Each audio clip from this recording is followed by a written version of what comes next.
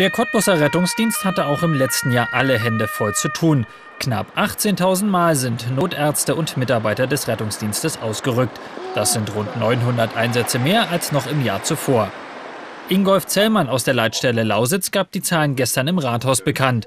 Sie sind deswegen interessant, weil der Rettungsdienst seit dem 1. Januar 2012 voll in der Hand der Stadt ist.